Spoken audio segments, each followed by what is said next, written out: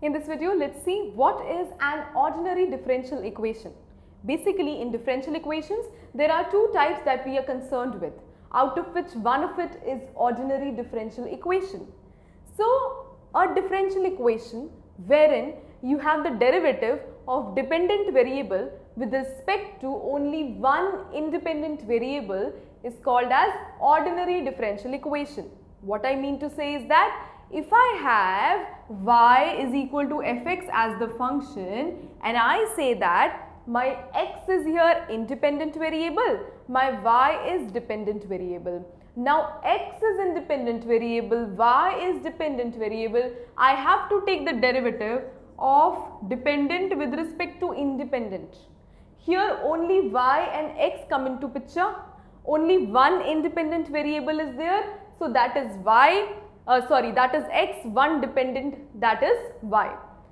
So, this kind of equation that would be formed would be ordinary differential equation.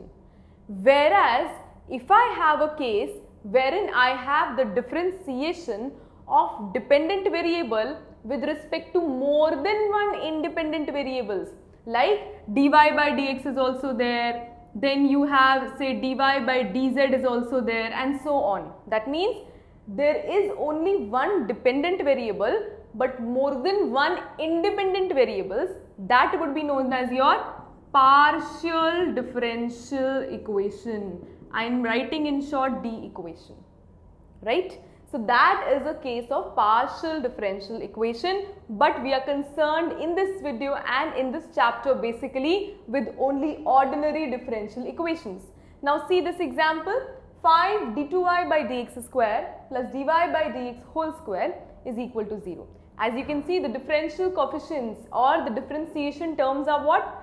dy by dx, second order of dy by dx and so on. Only y and x come into picture this is your dependent variable. This is only one independent variable. That means this is an example of ordinary differential equation. So that is very important to know about the types of differential equation out of which we have the concern mainly with ordinary differential equations.